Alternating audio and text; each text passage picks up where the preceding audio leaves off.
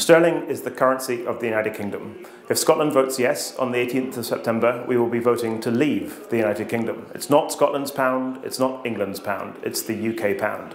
And if we vote to leave the UK, we vote to leave the UK pound. Uh, there, there, there can be no currency union unless both sides agree. It may well be that Scotland wishes to join a currency union, but Scotland cannot force the rest of the United Kingdom into joining a currency union. The rest of the United Kingdom will do what is in the best interests of the rest of the United Kingdom.